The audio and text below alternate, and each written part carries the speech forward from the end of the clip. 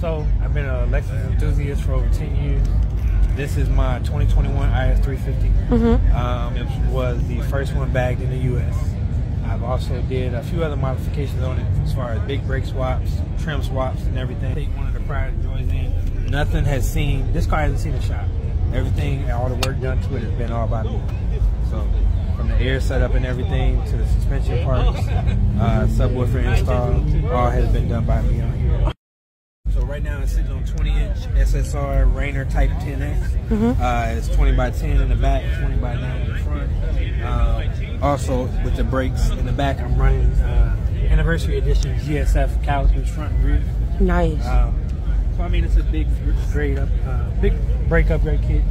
Running these are Leon carbon fiber mirror uh. So he's one of the local guys here. He pretty much supplies everybody with a lot of fiber parts. Under the hood, I'm running an Injen intake, uh, Tom suspension bracings all the way around from the strut tower brace up front and the rear that you guys saw, and then every body brace. It's got that red interior, black trim on everything.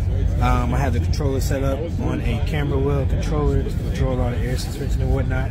Um, pretty simple interior. I haven't done too much to it and whatnot. I'm still looking to see what else I want to do as far as interior wise, maybe some carbon trim pieces and whatnot. But I mean, it's simple from the factory on the inside. Everything else, modification wise, has been on the outside. One other big mod that I did do on the outside as well. If you notice, these are coming in chrome trim.